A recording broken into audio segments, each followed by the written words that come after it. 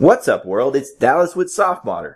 And today I'm going to show you how to add as many apps as you want to Samsung's Toolbox button. Toolbox is a pretty cool little feature that, when enabled, shows a small button that hovers on top of whatever you're doing. If you tap this button, you see a set of apps that you can launch directly from any screen. But if you've ever tried to edit this list of apps, you've probably noticed that you're limited to only five apps. Anything past that, and it basically just says, sorry man, can't do that.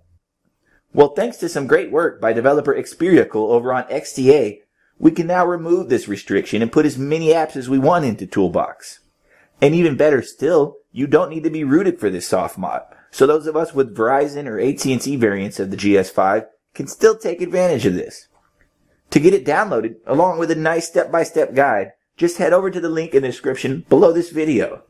Since the app isn't available from the Play Store, you'll need to enable sideloading on your phone.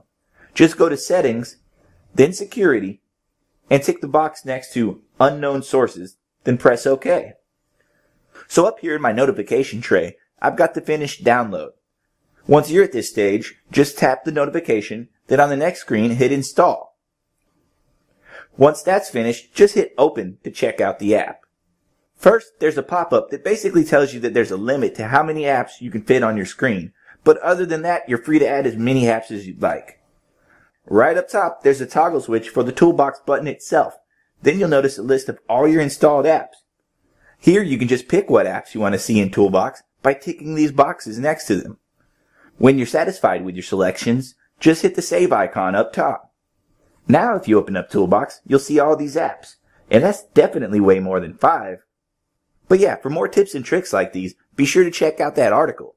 Our whole website is actually pretty awesome if I do say so myself and it would be great if you could like and comment on this video and subscribe to our channel. So we'll see you again next time, guys. But until then, happy soft modding.